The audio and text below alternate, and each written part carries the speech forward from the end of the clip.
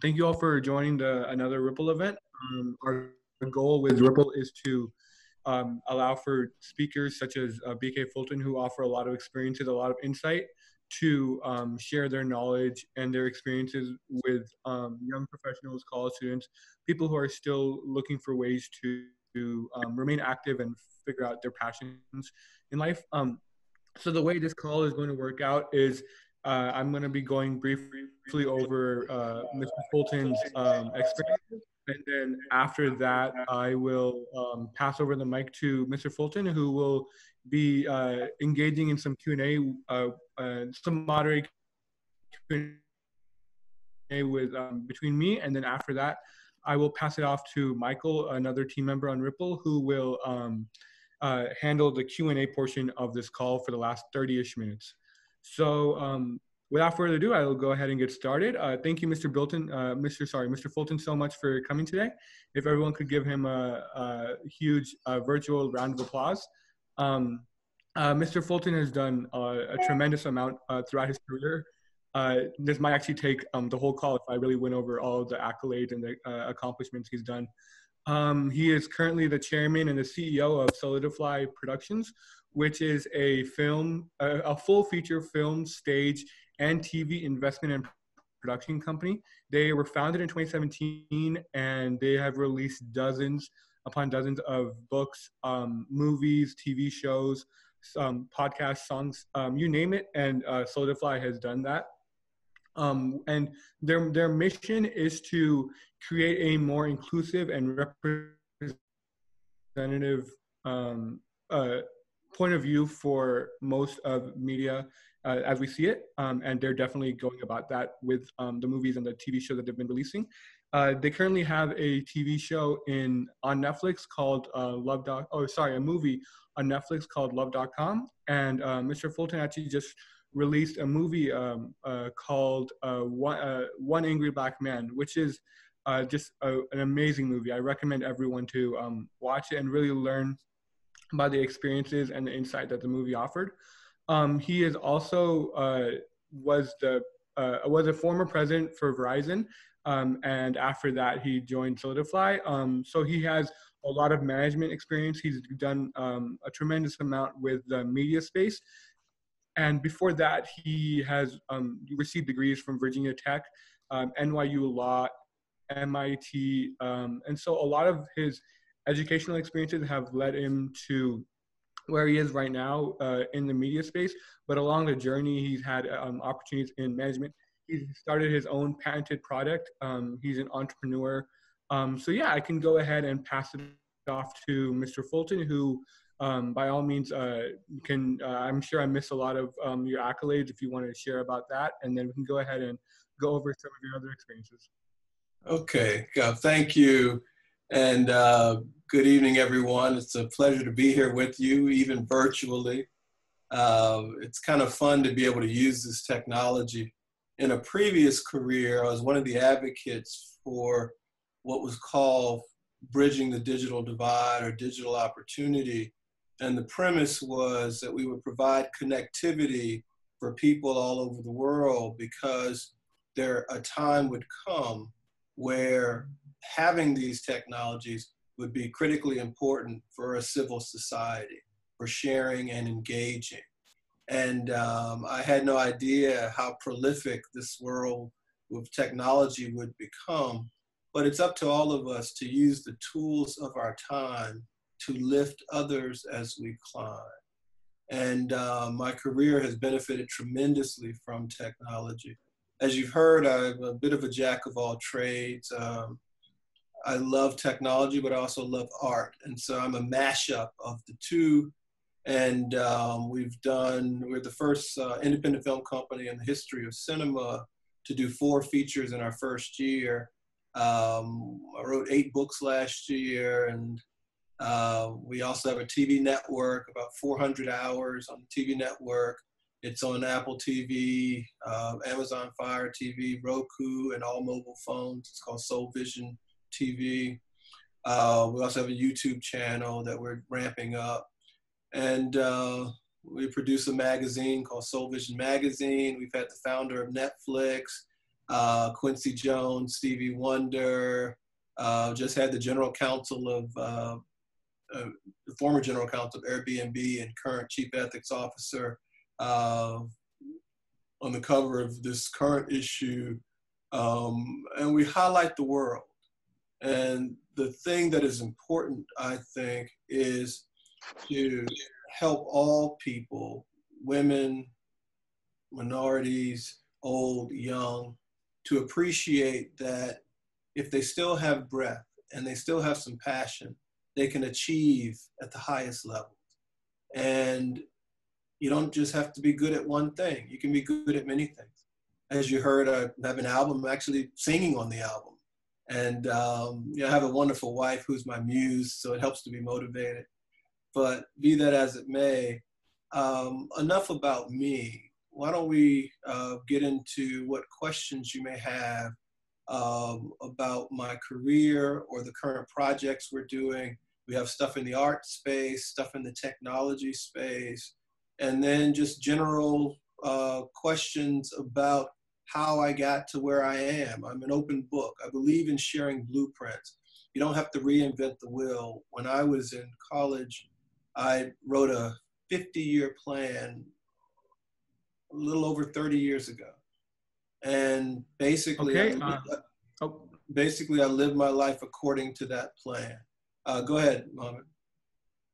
Yeah. So um, the first question that um, the audience kind of wanted to go uh, for you to go deeper on was um, just your inspiration behind Soulidifly Productions because um, a lot of your previous experience has been in the management entrepreneurial sector. So, what kind of pushed you towards the media space, and more specifically, um, behind creating a production company that is so adamant on like inclusive narratives, on making sure that the the kinds of media that you're creating are um, representative of the kinds of people that you uh, work with and are around. Sure. So, Soulidifly first the name. So everybody has a soul. So I wanted to be inclusive. So we wanted soul in the name. Um, it's a play on the word solidify, because coming together we're stronger. And then fly, the fly part, because I had to make it cool. If we make something that's not cool, nobody's gonna want to check it out. So Soulidifly. The Y is in the shape of a butterfly. And it has all the colors of the people in the world, all the resources that we have to share because we live on the same rock, and the thing that makes us one, the blood. We're all a part of the human family. The butterfly also signifies a transition from a caterpillar to working on yourself because it takes work, and then blossoming as a butterfly and flying up and flying towards your dreams or goals. And so that's the basis for the company um, and how we came up with the brand and the and the imagery. But if we go back a little bit and why a production company instead of something else, like I shared with you, I retired relatively early, but I wrote a plan to retire by my 50th birthday. And that plan included spending the second half of my life. So I spent my first 49 years, 348 days, or first 50 years doing what I was trained to do. And now I get to spend the rest of my life doing what I feel God made me to do. And that's to tell these stories. And so when I retired, I thought maybe I, I have a lot of preachers in my family, some educators, both my parents are educators. So I thought maybe I'd do something educational. I actually thought about becoming a university professor, and I talked to a few presidents of some universities. And I thought about maybe preaching or something, getting into that. But then that means that meant I would have to go back to divinity school, perhaps, or I actually wanted a church. And then I, I looked at the young people today, my own children. My wife and I are raising, you know, three young men, and um, they don't spend a lot of time in church they spend a lot of time on computer screens and with their phones and you know, trying to get likes and trying to get hearts on IG. So I realized that that's something that I wanted to influence. And we live in a celebrity culture. And so if I could influence a celebrity, then I could provide a different type of messaging because I was starting to get upset with the messaging that was out there. The, the typical messaging out there is very stereotypical, especially as to minorities and women. Um, for me, when I was in college in engineering school, the first couple of years didn't go so great. And I was actually going to leave. Um, I was flunking out, to be frank. And then I went to the library to plan my escape. And I found myself in the E185.5 section of the Dewey Decimal System, which is the section on African Americans. And um, I started reading about all these inventions and contributions. First open heart surgery, blood plasma, the filament for the light bulb, the patent drawings for the telephone. And I was like, nobody ever told me this. And I got upset, I got angry. And I started, I, I changed my approach to school. I went to class, I read my books, my grades went up. Go figure, read the, read the books, go to class. Yeah, you know, things work out. I became friends with my professors. I started mentoring other students and hanging around students that were about excellence and achievement. And it made all the difference. So now, and so I, I went from the probation list to the dean's list to the board of Virginia Tech. I was flying in a jet to help govern the school. And so now fast forward to my retirement and the, the, the finer point on the answer. I realized that celebrity culture, screens, phones. So I wanted to I wanted to be a part of that movement. And also I wanted to tell an achievement story. So the stories that I was reading about inventions and creations were about achievement and success. Everything else I was getting was slavery stories, uh, domestic violence stories, stories about difficulties between races or people. And those things weren't helping me to become the best version of myself. The success stories were. So I said to myself, if reading about the accomplishments of my people could help me to totally change my life, then if I could put it on the big screen, put it in books and magazines, have great actors and great sound, then I could change the life of a lot of people. We're more alike than different. It's a crazy world that tries to separate us. None of us know where the cure for Alzheimer's is coming from. None of us knows where the cure for ALS is coming from.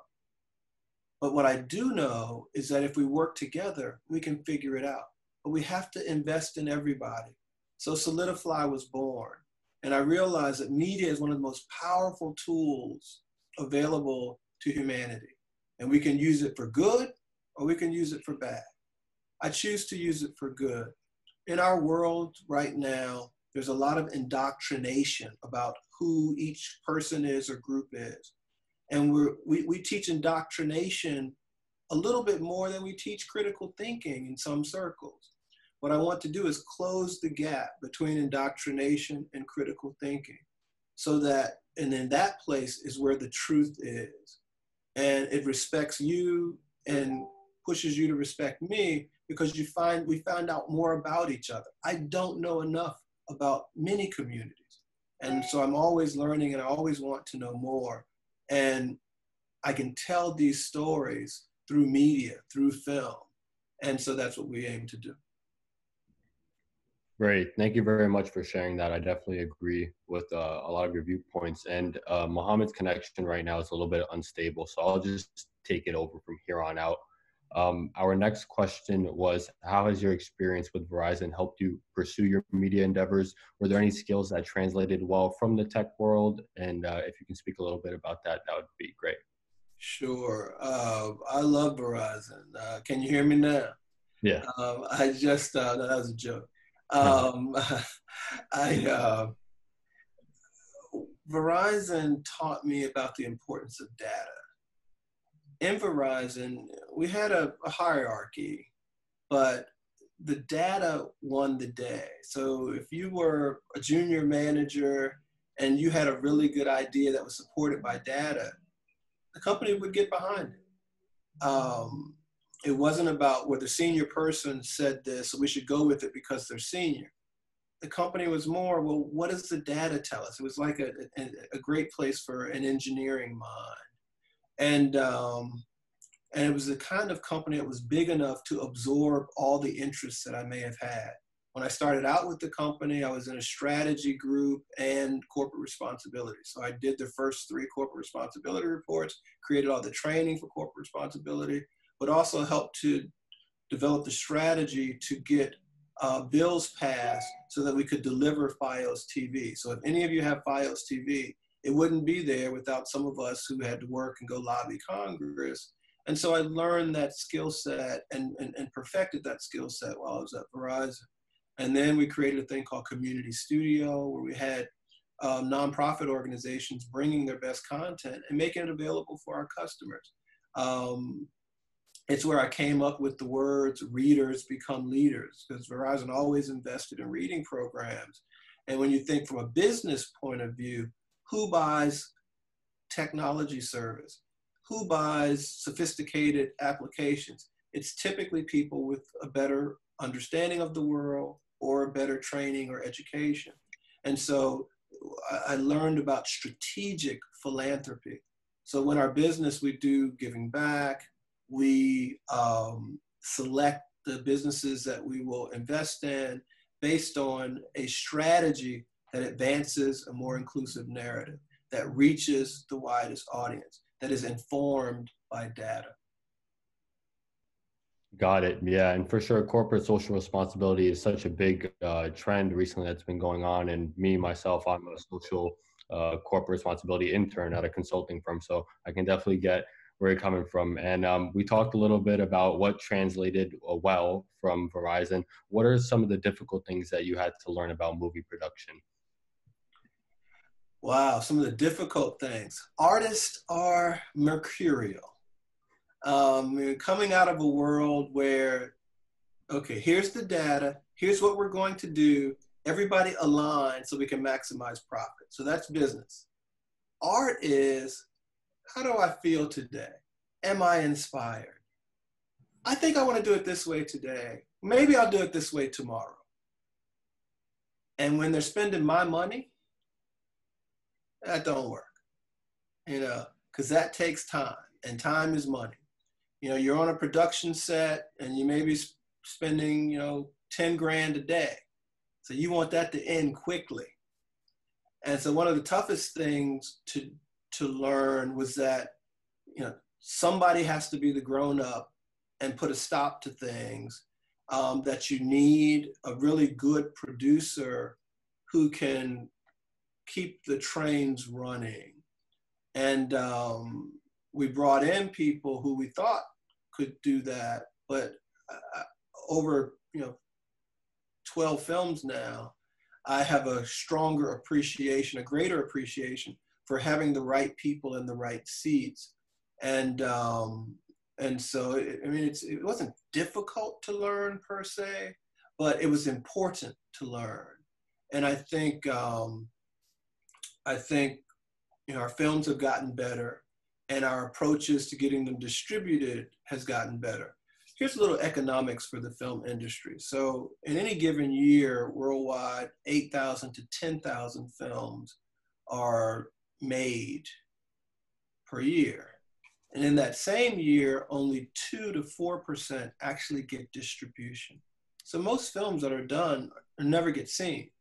So then if we come back to shorts and things you do on your cell phone, it's hundreds of thousands of pieces of video, most of which will never be seen in any kind of massive way. Contrast our business, all five of the feature films that we've released have received worldwide distribution, have been profitable. And uh, so I'm happy. But I, I, I credit that to being a businessman in show business. So I'm not just about the show, I'm also about the business. And if I were a young person who was interested in getting into this space, learn the business. Learn the business because you can keep going. You can make it sustainable. Because if our if our films are not good, if they're not don't have that flyness to them, if they're not cool, if they don't appeal to some kind of demand, then you make one film and you're done. You don't get your money back. You bust it. And so you don't recoup, as we call it in the industry. But if you plan and you pull together the right team, you keep your budgets low, and you begin to build relationships with all the pieces of the food chain, particularly with distributors who will get your film out there, you learn how to market, uh, then you can do pretty well.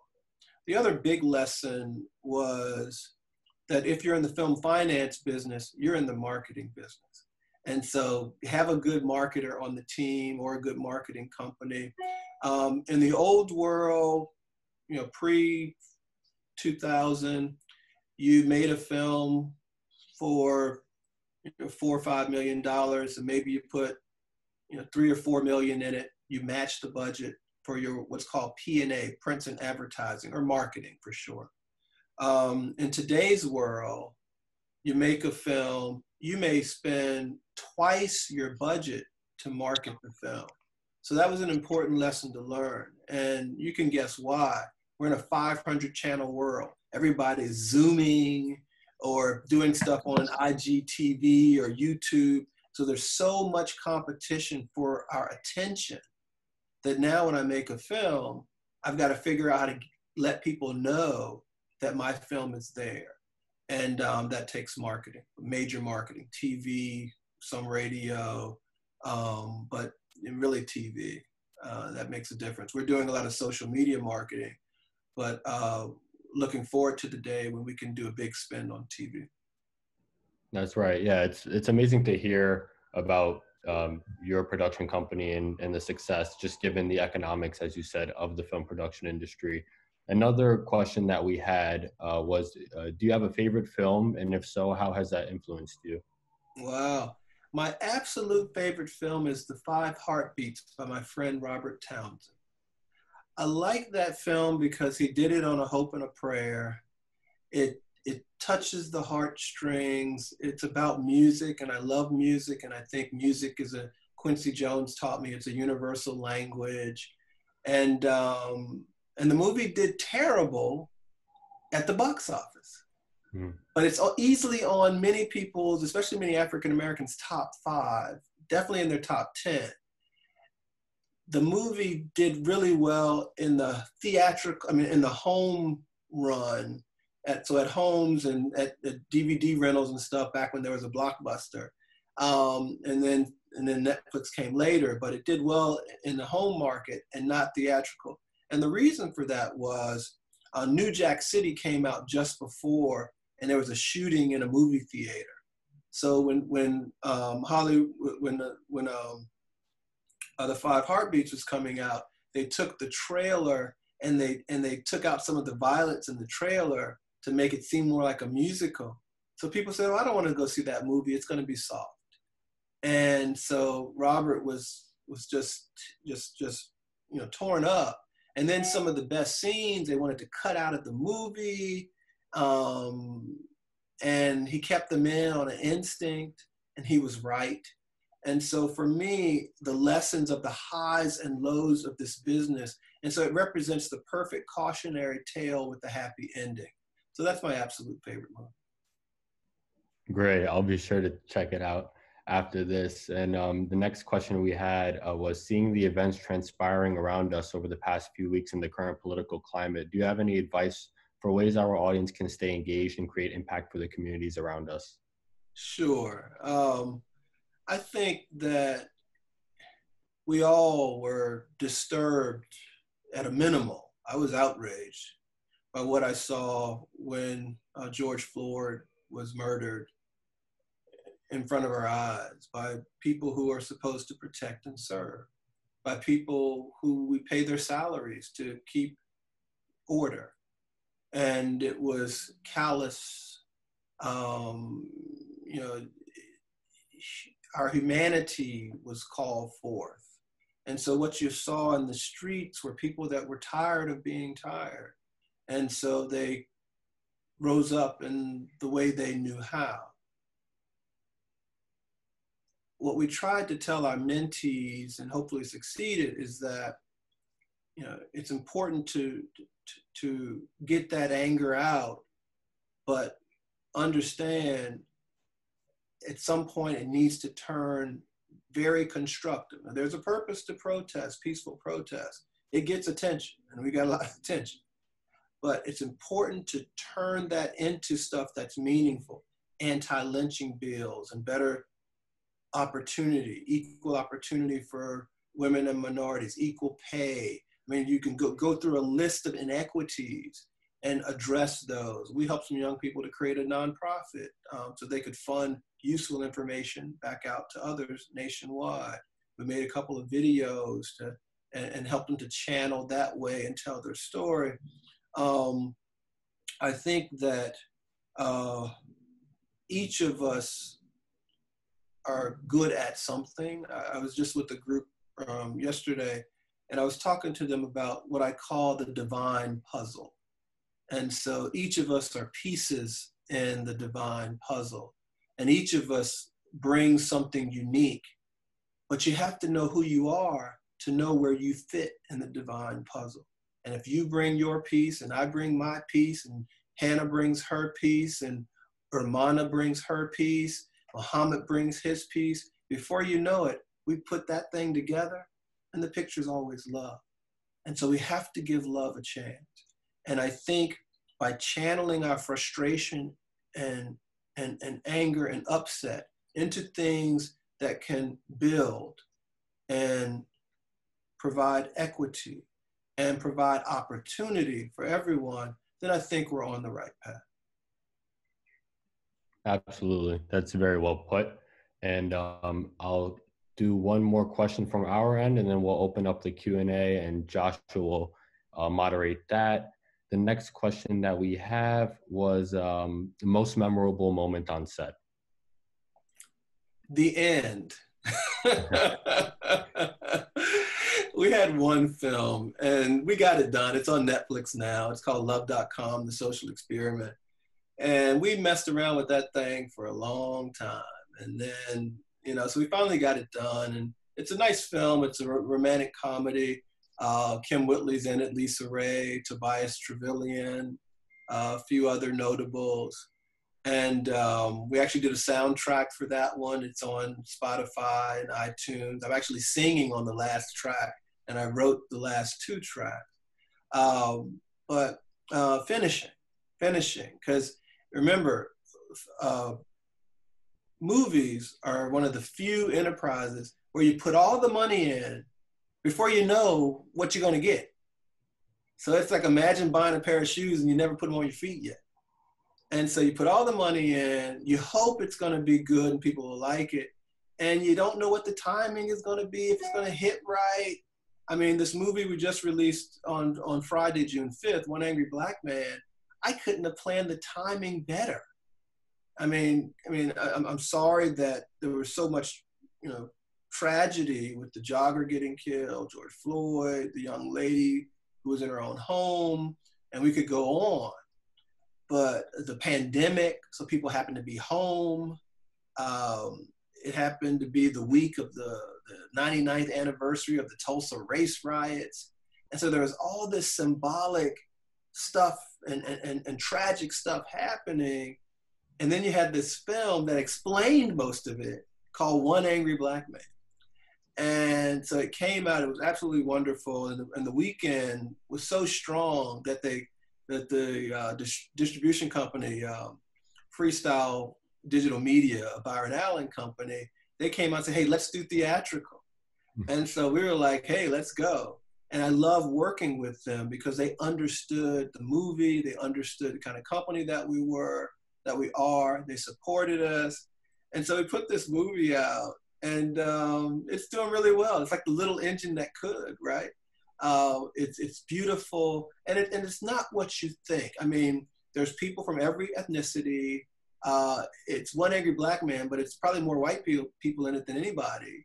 And it's an honest conversation. It takes place on a college campus. It's it's a classroom and a, a, black literature class where they're talking about these great writers and um, and current issues. And it's got some humor in it. It's got some tense parts in it. It's very authentic. I think if you when you watch this movie, and please watch it, we need the revenue. But when you watch this movie, you'll see yourself in some of the characters or somebody you know. I promise you. We had people walking out, oh, thank you for respecting my intelligence. Uh, oh my God, best movie I've ever seen. We're on the top 10 list already for a number of movies, uh, for a number of, of leaders in the movie industry. So I'm really proud of it. I mean, as a business person, you know, it, it, there wasn't a whole lot of data to use to tell me if that was going to be a success or not. So what we did was we found good people, we read and found some good scripts, and then we took a chance. At the end of the day, you take a chance on a lot of things in life, and um, I, I I feel pretty confident that I'm going to be very happy that I took a chance on this film. Great, it's great to hear that the movie is doing well. Everyone, please watch it. Um, I'll pass it over to my colleague uh, Josh, and he'll handle the Q and A. Thank you, Mr. Fulton. It was a pleasure speaking with you. Thank you, Michael. Pleasure. Hi, Mr. Fulton. Um, Hey, Lots of great stuff already said. I've been taking notes, um, and it's great to get the chance to talk to you today. Um, we have our first question from um, Varun. Uh, Varun, I'm going to go ahead and unmute you. And you can go ahead and ask uh, Mr. Fulton your question. Mr. Fulton, thank you so much for doing this. oh, Um, sure. so I was just wondering, like, do you have like on top of like knowing the business side, do you have like advice when it comes to producing like your first like feature film? Absolutely. Jump in. Uh, there's a book, there's a short version of a film book by a guy named Adam Leipzig, L E I P Z I G. He's a professor at the Haas School of Business at Berkeley. He also did 34 movies, including the highest grossing two documentaries. He also did Dead Poets Society, Honey, I Shrunk the Kids, uh, was an executive at Disney. I call him my movie Yoda. Um, Adam and I are working together with about, I don't know, 20 or so other advisors to build the first online uh, film school with actual transcripts from the UC system. It's called Media U. We'll launch it next year. Uh, but any of his books on the film industry will help you. And there's a big one, and then there's a there's like a, a, a 90 page one that you can read in a night. Read that book. It'll tell you everything you need to know, and then get started. The most important thing though is to get started. Um, I remember when I was talking to the founder of Netflix, and he said the biggest mistake he saw young entrepreneurs make is that they build this castle of a business plan in their head and they never do anything. The difference between the way I work and many others is that at some point I get out and I start doing the work. There's a governor that lives down the hall in our condo, and Steven Spielberg stayed here when he filmed Lincoln, and Debra Martin Chase stayed here when she did Harriet. And um, and he said, BK, the reason that you have so many different things that are and they're all working is because you're doing the work. You don't just talk about it. And so I encourage you to get going. Um, I remember watching this uh, documentary and had George Lucas in it. And one of the things that I loved was when he did Star Wars, you know what he started with? A notepad and a pencil. And he sat down and started writing. Professional writers are just amateurs that didn't quit. It's in you. Don't wait for someone to evaluate you to decide who you are supposed to be. You get to decide that. And so just start. Thank you so much. That was very helpful. You're welcome, Varun. One more thing, one more thing. When I made my 50 year plan, I went and I, I, thought about who do I respect? And I went and looked at their short bio, take the Wikipedia version, and I took three people and I pulled out the common denominators. What did each one of them do? And I made sure I did that. So as a, if you want to produce, if you want to do docs or you want to do feature films or shorts, then you look up three or four people who've done exactly what you want to do, exactly. And then you look at their blueprint. You don't have to reinvent the wheel. You can look at what we did. You know, we're, we, we're, we're probably the most prolific independent film company in the, in the United States. Four films in our first year. We'll do another four this year. I already got three or four on deck for next year. Um, I did eight books last year. I've got I'll be writing, uh, finishing two novels on vacation next week.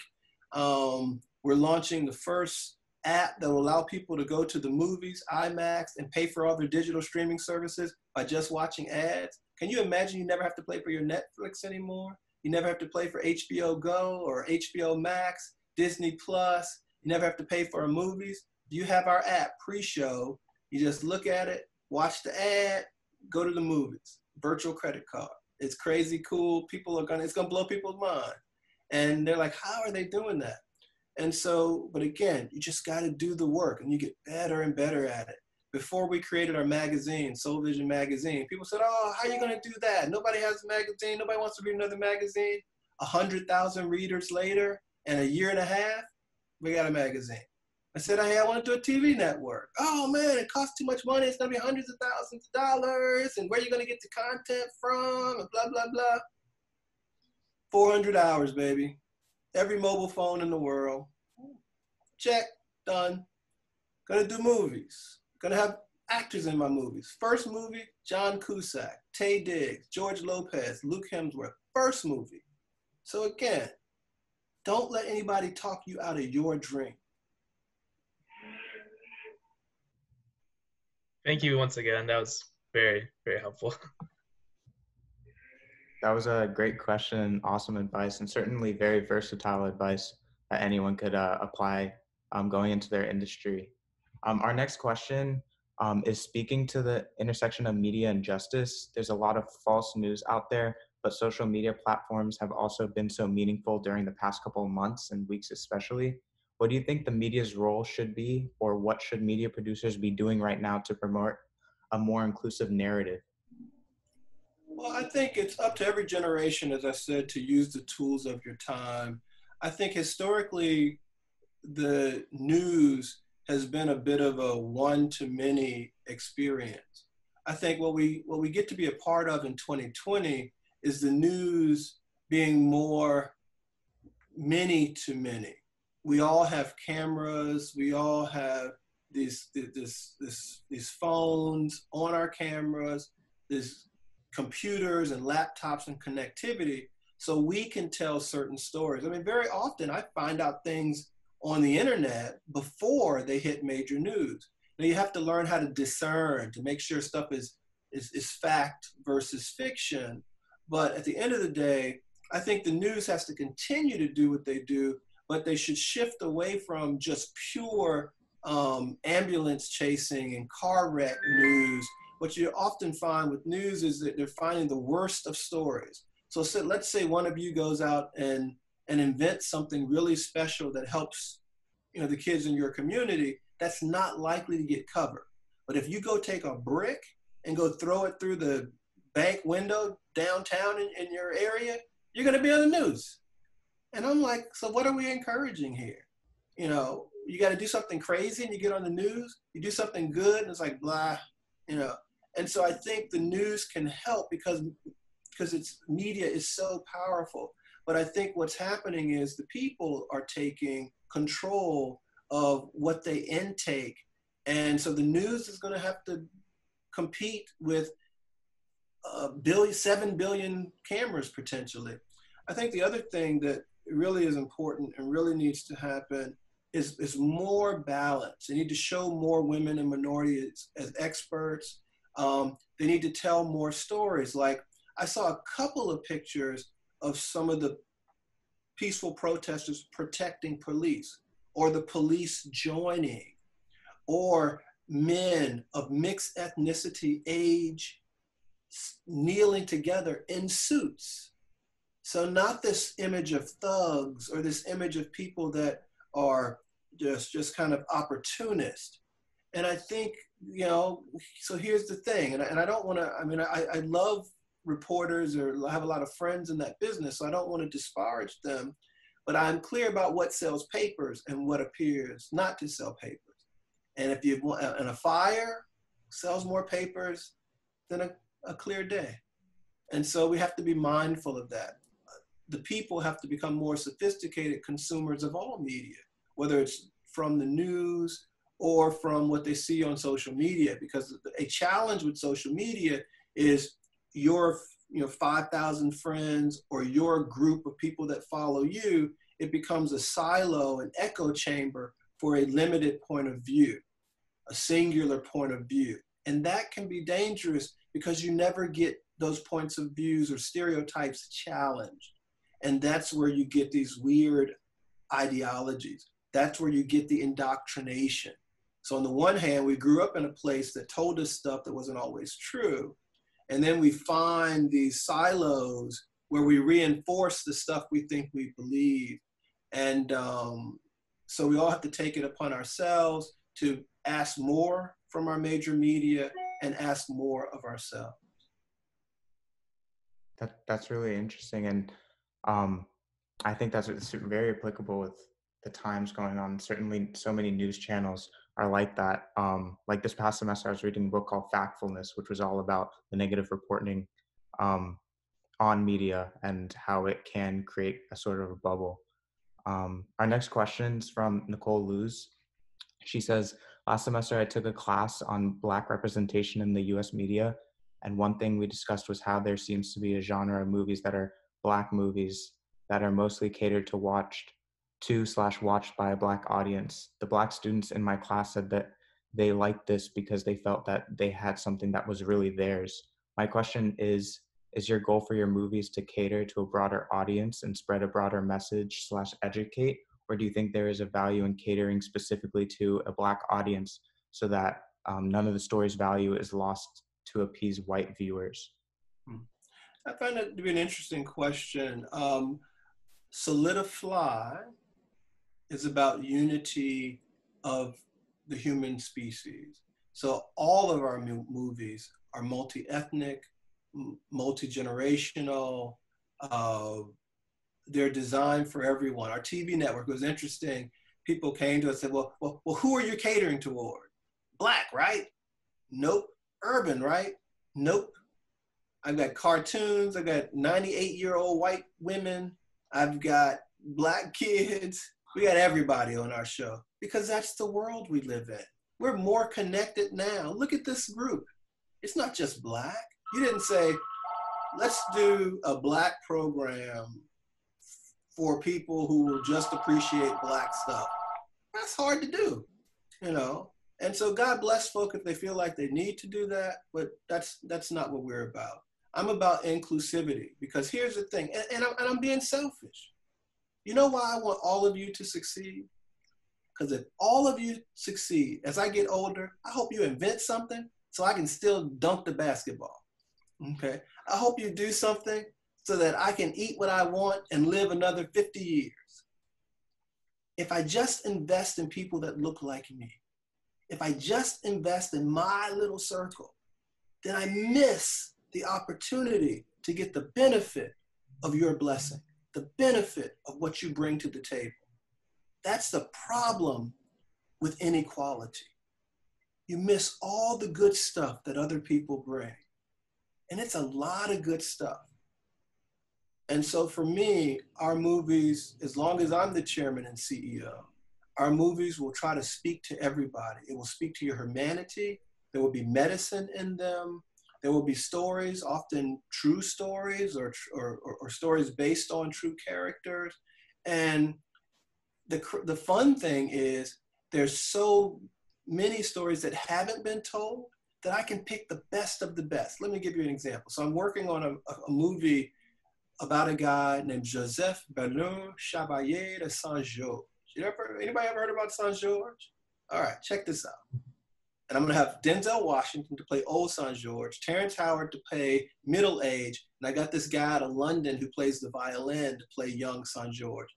What if I told you that in the late 1700s, the champion fencer of all of Europe was a mulatto, mixed African and Guadeloupe? What if I told you that Saint George was also a virtuoso on the violin? Marie Antoinette asked him to head the Symphony of France. Mozart went to France to learn from the greats. Chevalier was the greatest. He lived in the same building with Chevalier. He learned a lot from Chevalier. What if I told you that Chevalier had a legion of a thousand African and mixed race swashbucklers who fought for France and fought for him. One of his lieutenants in the Legion was T. Alexander Dumas, father of Alexander Dumas, who wrote what? The Count of Monte Cristo and the Three Musketeers. So, wait a minute. The cornerstones of French literature, influencer of Mozart, and the, and the, one of the greatest composers of his time, and the current stance in fencing, all from the same guy, and nobody's ever heard about it. So those are the kind of stories that we'll get to tell. The world is rich, is full of them. And because it was unpopular to tell the story of a non-European throughout a big part of our history, some of those older stories you just don't get. There's stories from India. I've got a business partner in Mumbai. We're working on stories. There's stories from Mexico and Russia and China and Argentina, Alaska, all over the world. Anywhere there are human beings, there have been stories that have inspired them. And if and since we're all humans, we can find inspiration from some of these stories too. It's just that the indoctrination side of pedagogy made us believe or, or only allowed us to experience certain stories. And those stories weren't designed to help everyone to be great. They were designed to help a few people to be great, even if the stories weren't true. That's the problem with indoctrination and racism, is that people will be misinformed, will accept being misinformed so that it fits their worldview. The truth sets us all free the truth brings us together. And so I want to work on truth. The truth is that we're all cousins trying to find our way home. We're the same human family sharing one rock. So my films will be about all of us. That's amazing, Mr. Fulton. That's I, I really um, I really like that message, and I think it's going to resonate with a lot of people. Um, and and I mean, it's it's a good thing that a lot of films are with with today's day and age, a lot of people have brought more attention to um, those who are voiceless during their times. Um, our next uh, question is after all your success throughout your career, what keeps you motivated to keep going? I've got a really beautiful wife who loves me and makes me feel happy. And so that's part of what keeps me going. I have three wonderful boys that my wife and I are trying to, well, young men now, they're 22 and 28, uh, twins, they're 22. And we want to see a, a world that's open for them so they can grow up safe. After what happened to Mr. Floyd, I got frightened. I couldn't sleep for two days and worried about my kids. Um, I almost got shot when I was 23, about their age. I was in New York in graduate school. I mean, I was coming from class, and the officer drew down on me, saying that I had robbed somebody in the subway. It was ridiculous. Uh, so, I I'm optimistic, um, but I, I I want to contribute to a better world. I want to build pools that I never swim in. I want young people to know how to have the how to become the best version of themselves.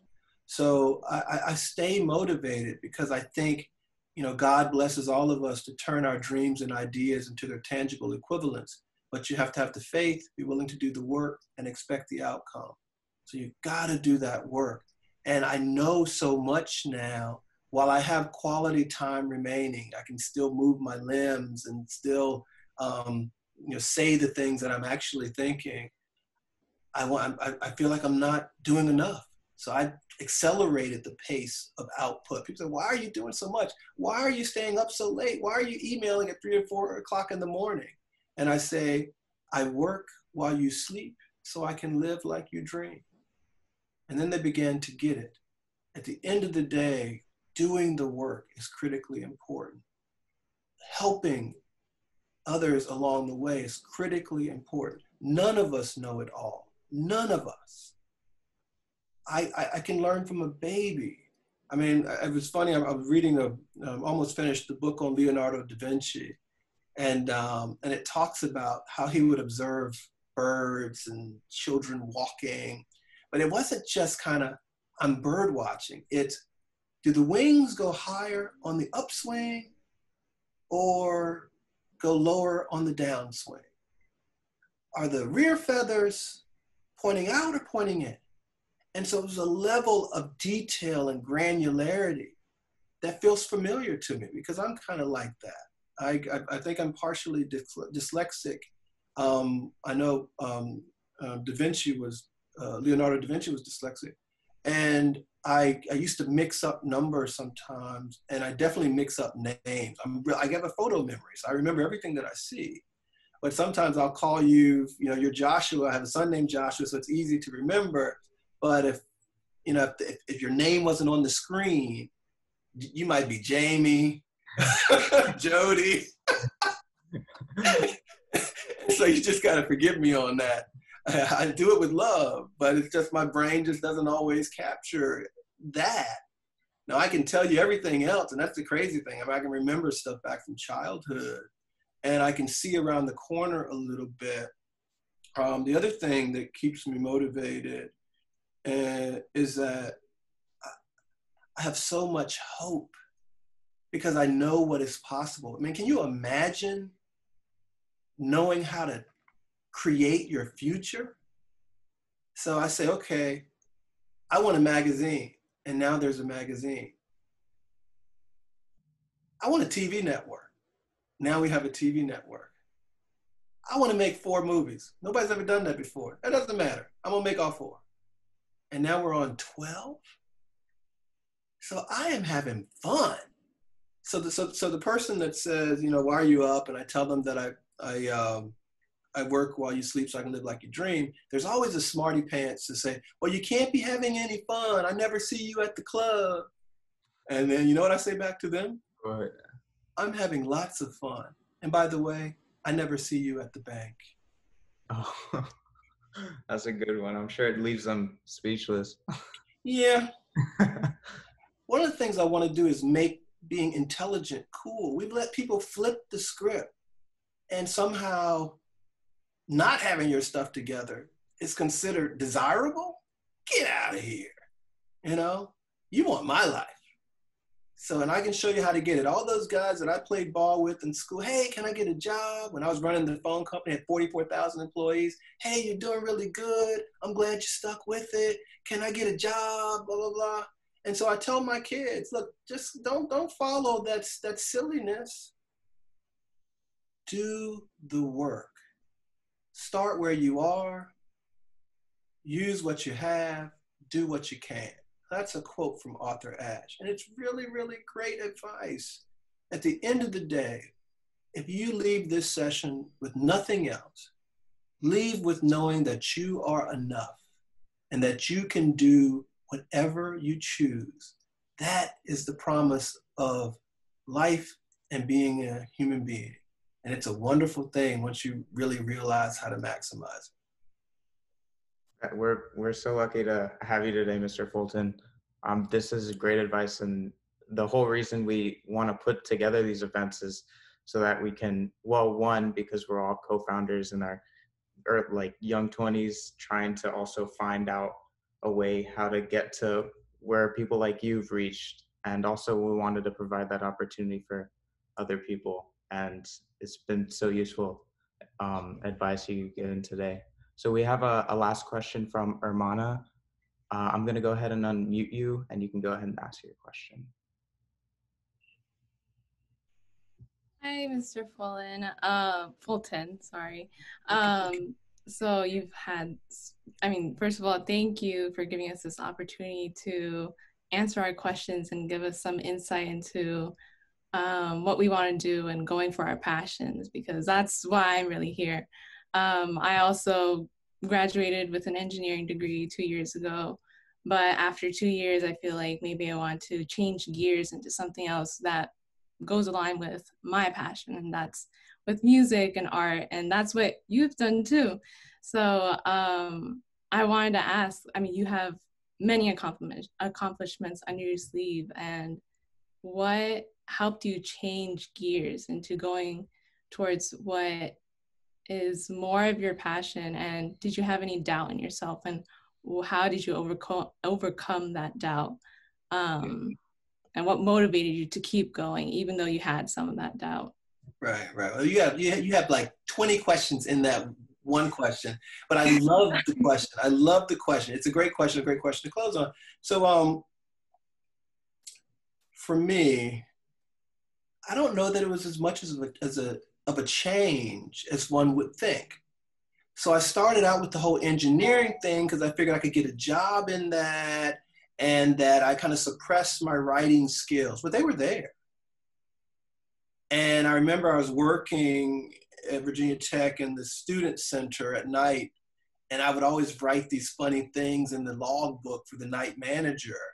And people said I'd never read the, the book before until I started writing it. And It was so funny that they started coming to read my night manager's log. Matter of fact, I should try to find them because it'd probably be worth something one day. You know, because I mean, I wrote stuff and I made it. I wrote poems and I wrote about the funny things that happened on my watch while I was an engineering student.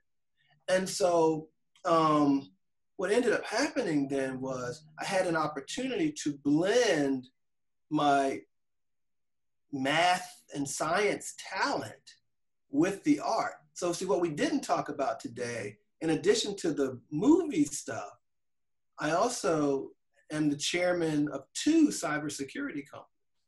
And we have the only method patent in the world for variable language encryption at the machine level, at the zero and one level. So every operating system, every app, every um, iOS and all of that run on top of it, no matter what language. So it's it's it's it's, agnostic as to language by design. It's 10 to the 512. That's a quantum level encryption, and it works. We have that. Um, my augmented reality company won the 5G challenge with a million dollar check in January. 525 businesses competed against us.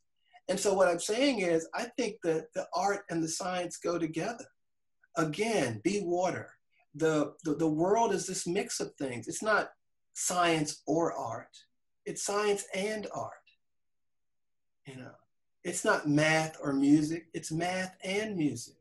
So these skill sets are, are, are part of the same ecosystem. And we're just choosing to play one a little more than the other. And what I've learned to do is, is, is, is, is pull what's required. So I might be in a meeting and we're talking about movies, I say, hmm, I, there's an app for that. And then we make pre show. I'll be in a meeting and we'll talk about you know, spatial co-location and recognition. And then we'll create an augmented reality company that wins major awards. And so I think that you don't have to choose. It's nothing wrong with going through the widest door open because that's the way opportunities work. You know, maybe the companies are really hiring a particular for a, for a particular skill set that you had. And so you seize that opportunity and you learn and you develop and then you morph that into other things. At I remember my, my movie Yoda, Adam, I said, Adam, I wrote all eight of the, I wrote seven children's books in one month. And then it took the rest of the time for the illustrator to catch up. So I started drawing the pictures for him so he wouldn't have to do as much translation. And I said, it's easy for me. Now, Adam's a little older than me. He said, BK, it's easy for you now because you actually know how to do stuff. And so he was like, you know, don't discount that you're crazy smart. So that was a nice compliment. But I believe everybody is as smart as the next person. They just don't know it yet.